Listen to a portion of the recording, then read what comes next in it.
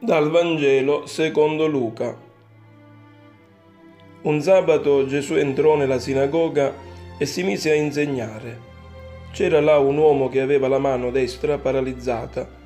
Gli scribi e i farisei lo osservavano per vedere se lo guariva in giorno di sabato, per trovare di che accusarlo.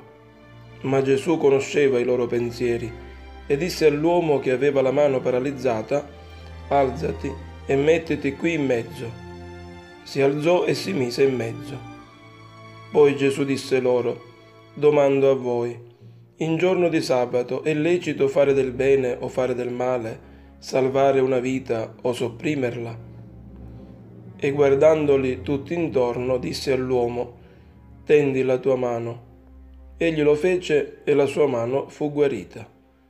Ma essi, fuori di sé dalla collera, si misero a discutere tra loro su quello che avrebbero potuto fare a Gesù. Osservavano per vedere se guariva in giorno di sabato. Nuovamente il sabato, nuovamente una norma che viene travolta e stravolta dal legalismo, nuovamente una feroce disputa contro chi crede di essere fedele alla legge e gradito a Dio e che invece ne tradisce il volto il povero uomo con la mano paralizzata che viene guarito di sabato è l'occasione per iniziare una nuova disputa contro l'eccessiva libertà di interpretazione di Gesù.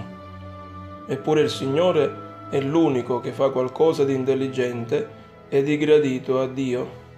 Fa alzare l'ammalato, gli restituisce dignità, pesantemente compromessa in una società che attribuiva alla punizione divina la malattia, aumentando a dismisura il senso di colpa e lo mette in mezzo.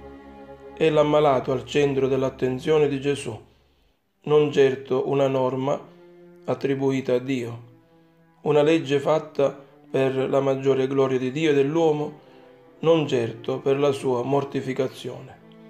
E noi, quando accogliamo le norme scaturite dalla fede, mettiamo al centro l'uomo o la regola? Attenzione però, oggi si tende a soprassedere a qualunque norma in nome di un inopportuno buonismo.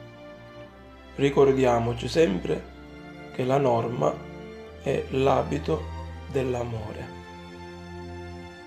Lasciamoci ancora una volta illuminare e provocare dalla parola di Dio all'inizio di questa nuova settimana. Vi auguro ogni bene nel Signore. Dio vi benedica. Buona giornata.